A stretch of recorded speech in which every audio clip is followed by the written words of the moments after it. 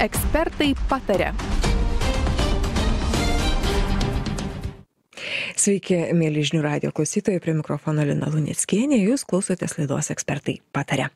Transporto kompetencijų, kompetencijų agentūra nustatė 2024 metų juodasias dėmes valstybinės reikšmės keliuose ir sudarė juodųjų dėmių žemėlapį. Tad mes šiandien ir pasikalbėkime apie šį žemėlapį, kaip jis sudaromas, kiek laiko jau gyvuoja, kokius rezultatus turime šiais metais, kur Lietuvoje, na, važinėti tikriausiai labiausiai pavojinga pavojinga, o kur galbūt saugiausia. Daugėja ar e, vis dėlto mažėja tų juodųjų dėmių mūsų e, Lietuvos keliuose.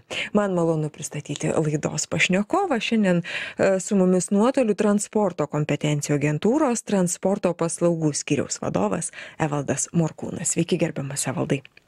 Sveiki. 15 metų sudaromas juodųjų dėmių Lietuvos keliuose žemėlapius. Kokius rezultatus mes turime šiemet, kas nustatyta, ką rodo jūsų gauti duomenys, tokį bendrą įvertį padarykime, kad žinotumėmgi, kokie tie mūsų keliai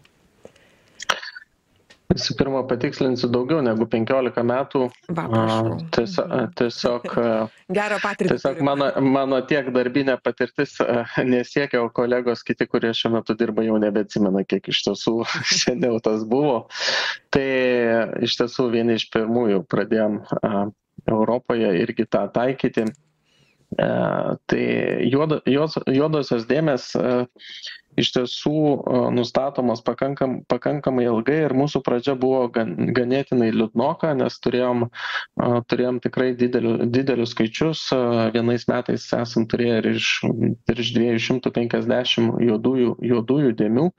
Ir šiais metais turime tik trisdešim tris tai tikrai progresas progresas yra didžiulis ir tos in investicijos tos į tas problemas tikrai tikrai pasiteisino ir jos ilgus metus buvo daromos.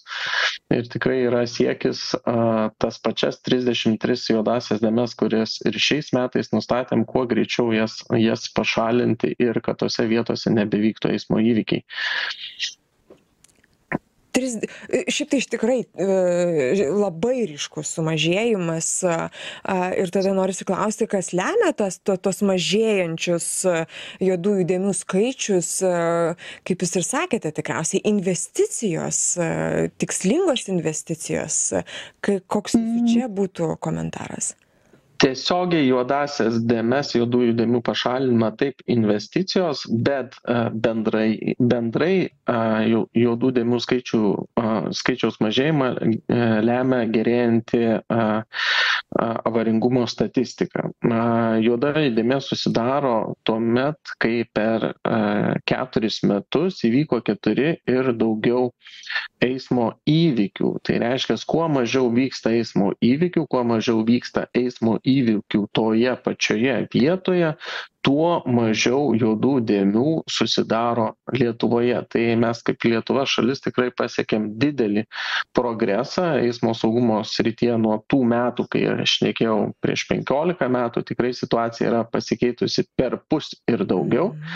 Tai dėl to ir iš tiesų gal reikėtų niekas pagalvojau nepagyrė lietuvos žmonių nes tai yra lietuvos žmonių indėlis tų pačių vairuotojų elgsena pasikeitusi ir ir situacijos supratimas ir visa kita ir kultūra lemia tai kad mažėja eismo įvykių tap tampam vis labiau sąmoningesni vai keliuose ir atsakingesni ką jūs kalbate. Tai tai tikrai labai labai gražus graži žinia ir pastebėjimas. Kalbėdami apie žemėlapį ir kalbėdami apie lietuvos regionus kur daugiausia tų juodųjų kelių tų juodųjų dėmių kuriuose lietuvos regionuose?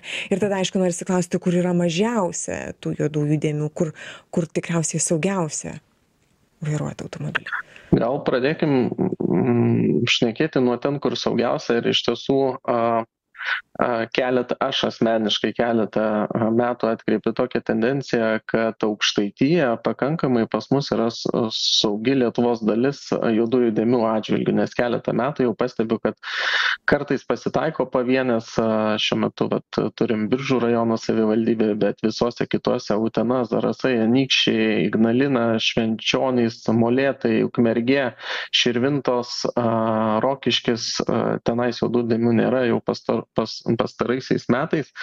Tai tikrai tas, tas džiugina, bet a, iš tiesų juodosios dėmės labiau a, koncentruojasi ties a, didesnio intensyvumo a, ruožais, keliais, miestais. Tai iš tiesų Kaunas nuolatos yra piko centre, a, bet šiais metais mes ir turime Vilniaus a, apylinkės, a, kurios išsiskiria trimis juodosiamis dėmėmis ir iš tiesų a, Klaipėdos, Klaipėdos apskritis irgi turi mm, keletą juodųjų dėmių.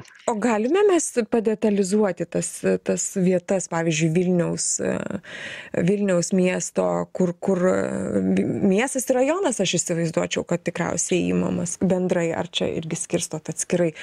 Nes kur, kur, kur, kur Vilniui labiausiai čia juoda, kur juoduojam? Jo. E, tai e, klausytojam noriu e, paaiškinti, kad mes šiuo metu šnekame apie valstybinės reikšmės kelių mm. juodasias tai dėmes, juodosios. Būtų, ar ne? Taip, ne, visi užmešio keliai. Mhm. užmiesčio keliai. A, taip, juodosios dėmės yra nustatomos taip pat ir savivaldybių teritorijose ir mes šiandien apie jas nešnekam, bet yra žemėlapis, kurį galėtų interesantai pasidomėti, pasižiūrėti ir rastų visas Vilniaus sužymėtas vietas. Tai jeigu mes kalbame apie Vilniaus priemestinę dalį, tai vad, pažiūrėjau, norėčiau atkreipti dėmesį, kas Kalnienų, Pavilnio, Nemėžio gyventojų dėmesį, kad kelyje, kelyje Minsko plente yra juoda juoda dėmė susiformavusi, susiformavusi turbūt, jeigu galima taip sakyti, labiau dėl pėsčiųjų netikėto eismo Minsko plentų. Mhm. O Kaune, kur apie Kauną koksai būtų tikriausiai magistralinis kelias, ar, ar, ar, ar vis dėlto ne? Kaune, Kaune iš, iš, iš tiesų yra mm, ta atkarpa Kaunas, Kaunas Jonava ir pats Jonavos miestas yra mm, šiuo atveju neigiamai išskirtiniai, nes me, metai iš metų tenais vis pasitaiko tų juodųjų dėmių ir viena iš tų pagrindinių priežasčių, kad ten tikrai yra labai intensyvu ir vyksta vietinis eismas, daug jaunų žmonių dirba Kaune, kas, kasdienės tos kelionės ir iš daug gyvenamųjų teritorijų yra tikrai ir plus dar Karmėlavos oro uostas, kur paskatina intensyvumą. Tai čia, čia tikrai reikėtų atkreipti dėmesį vairuotojams. Ir valdintai nepamirškim mūsų, mūsų stamieščio, kai, kai Klaipėdos irgi ten, jeigu galim įvardinkim tas, tas juodus, juodas dėmes, juodas susplėmus. Iš tiesų, Klaipėd, Klaipėdos pagrindiniuose keliuose yra gal labiau, sakyčiau, palangos gyventojų dėmesį atkreipti, tai kad kelyje A13 link latviškosios Nidos, jeigu gerai prisimenu pavadinimą, tenais yra dvi dvi juodosios dėmės ir viena juodoji dėmė iš tiesų tenka pripažinti kad vis pasitaikanti pasikartojanti yra prie vadinamojo hbh kur tikrai tikrai reikia atkreipti dėmesį galbūt poilsiautojai pamiršta kad apie tykančius pavojus kelyje ir galbūt neįvertina tai kad tikrai yra e, intensyvu vasaros ypatingai ypatingai metu ir manevruoti toje sankryžoje reikėtų atsargiai ir tikimės viliamės kad ateityje pavyks tikrai įgyvendinti sprendinius kurie iš esmės pakeis tą sankryžą evaldai grįžtant dar trumpai prie apie patį žemėlapį jo struktūrą kokiu algoritmu vadovaujantis jūs sudarote tą žemėlapį kokios pagrindinės dedamosios yra kaip jūs nustatot kad čia bus juoda o čia gal ne jau nebereikia tos juodos dėmės. Būtų įdomu sužinoti kaip kaip va jūs surandate tą juodą dėmę. Taip, tai pirmasis dalykas tai kad mūsų institucija valdo visą eismo įvykių informaciją kuri vyksta lietuvoje. Tą informaciją mums suteikia policija tai ačiū ačiū jiems. Mes tada pradedam analizuoti visus įvykusius eismo eismo įvykius juos dėlioti į vieteles juos sudėti ant žemėlapio. Taip pat noriu priminti kad mūsų institucija ir skelbia eismo įvykių žemėlapį kuriame galima surasti visus visus tuos įvykius. Ir iš tiesų naudodam, naudodamėsi program, programinėmis įrangomis mes bandome rasti koncentruotas eismo įvykių vietas, kurios yra labai trumpuose atstumuose ar įvykiai sankryžų zonose. Ir žemėlapį mes pateikėme dviejų spalvų vietas, tai vienos yra juodos, kitos yra raudonos, tam, kad būtų atskirtis truputėlį, atkreipiant dėmesį, bet tai yra bendrai juodosios dėmės, tiesiog juodos dėmės, juoda spalva nurodo, kad tai yra sankryžoje juodos dėmės, o raudonos nurodo, kad tai yra tam tikroje trumpoje ruožo, ruožo atkarpoje ir pagrindinis kriterijus ką ką ir minėjau kad per keturis metus turi būti įvykę keturi ir daugiau eismo įvykių kad mes pripažintume tai juodąja dėme. Mes sau dar pasižymime eismo vietas kuriose galbūt vertos stebėsenos, kur galbūt ateityje atsiras juodosios dėmės, tai mes jas vadiname tiesiog avaringomis vietomis, tai mes pasiliekam savo stebėsenai, kad jeigu netyčia paaiškėjus vienai ar kitai informacijai, galėtume, galėtume imtis galbūt kažkokių prevencinių priemonių, pranešti ar, ar, ar informuoti kitas institucijas, kad reikia kažkokių imtis veiksmų tokį potencialą turinčios tapti pavojingomis ar ne? O tai kaip susiformuoja tie pavojingi ruožai? Kaip čia ka kas čia turi įvykti kad vat jūs na kaip ir sakėte turi atkreiptumėt dėmesį ir pasidalintumėt su atsakingomis institucijomis? Problem e, atsakysiu gal taip. Problema lemianti tendencijas. Mm, e, kelių keliai yra didelis tinklas mes lietuvoj turim dvidešim vieną tūkstantį valstybinių kelių ir šešiasdešim penkis tūkstančius savivaldybių kelių tinklas. Yra tikrai didžiulis lietuvoje ir nėra mūsų visur akys ir nematom mes visų visų problemų tai čia tas būdas kai per statistiką per sausą informaciją tu gali pamatyti tam tikras tam tikras problemas. Tai šitoj šitoj šitoje vieto šitoje vietoje pagrinde susiformavusios galbūt inžinerinės, o galbūt e, dalyvių elgsenos problemos, kurios lemia pasikartojančius e, eismo įvykius tai pavyzdžiui pavojingas posūkis į kairę ane pavojinga sankryža plati sankryžos zona manevravimas galbūt matomumo trūkumas. Ir per keturis metus vis vairuotojai padaro tas pačias tas pačias klaidas.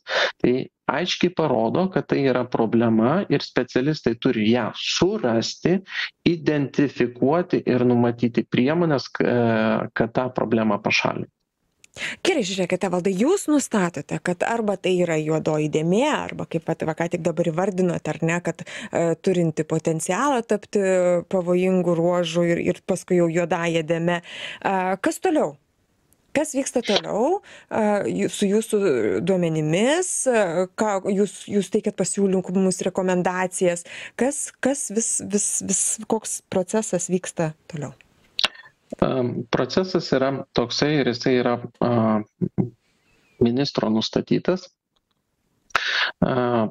Mes rengdami, analizuodami juodą dėmę, parengėme juodos dėmės pasą, kuriame yra parengiama visa nurodoma visa informacija, aprašomos problemos ir tuo pačiu aprašomos priemonės, kurias galima kurias reikia įgyvendinti, kad tą juodąją dėmę pašalinti. Priemonės yra skirstomos į e, dvi kategorijas. Tai yra e, greitosios priemonės kurias galima įgyvendinti per vienų metų laikotarpį ir ilgalaikės priemonės tai projektavimas statyba rekonstrukcija kurios kurios trunka ilgesnį laikotarpį ir jos priklausomos nuo nuo turimo turimo finansavimo po to vyksta vyksta šitų pasų šitos informacijos aptarimas su kelio savininku. Vyksta ekspertinė diskusija kuomet yra priimamas bendras sprendimas tam dėl tam tikrų priemonių apsikeičiama nuomonėmis ir ir pri prie priimamos priemonės. Yra taip pat pagal ministro nustatytą tvarką sudaromas juodų dėmių prioritetinis šalinimo sąrašas kur yra svarbiausia pirmoji pirmoje vietoje pašalinti paskui likusios ir kelio savininkas toliau tęsia darbus planuojasi tuos darbus ir stengiasi kaip įmanoma greičiau juos įgyvendinti kad tas juodąsias dėmes pašalinti ir kaip matom iš iš statistikos ir jūsų duomenų daugiau nei penkiolikos metų atrodo kad mes visai neblogai šioje vietoje a darbuojamės ir pasitelkiam jūsų su sugeneruotus duomenis. Evaldai žinote aš vis dėlto dar norėčiau grįžti prie mūsų prie jūsų atsiprašau tyrimo ir konkrečių jau tų nustatytų rezultatų nes jūs juos labai labai išskiriate ir ir tikrai norisi apie juos e, užsiminti ir pakalbėti. E, trisdešim trys e, ar ne mes turime tuos tuos tuos juodąsias dėmes. Tai dabar tas trisdešim trys tai kiek ten tikriausiai žuvusių sužeistų kokie čia skaičiai yra? Ką jūs ką jūs matote ką stebėjot? Taip a tai jeigu apie apie skaičius a tai pasiėmiau špargalkę tuoj pakomentuosiu žinoma kad nebūtų kaip į galvą ar ne? Kaip algirdui butkevičiui kad nebūtų. E, tai šitoje šitoje vietoje taip. A, praėjusiais metais buvo trisdešim aštuonios dėmės šiais metais yra trisdešim E, trys penkiomis mažiau negu praėjusiais metais. Džiugu geros tendencijos. Uždėjom varnelę Bend, tai, bendrai e, m, juodose dėmėse per keturis metus a, žuvo 12 žmonių. Sužeisti buvo 196 eismo dalyviai. Tai čia ta tokia pagrindinė avaringumo statistika, kas le, e, lemia juodasias dėmes. Tai va, tai dar yra juodosios dėmes skirstomos į užmiešio kelius, yra skirstomos į, į gyvenvietės, tai yra dar tas toks irgi pasiskirstimas skaičiuojamas uh, bendrai, tai tam tikri skaičiai. Irgi. Aš dar norėčiau jūsų klausti, kas irgi krenta į akis, neblaivus vairuotojai. Ar turim statistiką, kiek tų, tų nelaimingų atsitikimų eismo įvykių būtent sudarė neblaivus vairuotojai? E, tiksliai dabar. E, vairuoti, nes žinau, kad šitą irgi informaciją turite. Jo, dabar tik, e, tiksliai jums skaičiaus nepasakysiu, bet priežastys, tokios priežastys buvo identifikuotos uh, 13 juodųjų dėmių. Ir mes šitoje vietoje, kodėl rašome, kad yra dėl neblaivių vairuotojų.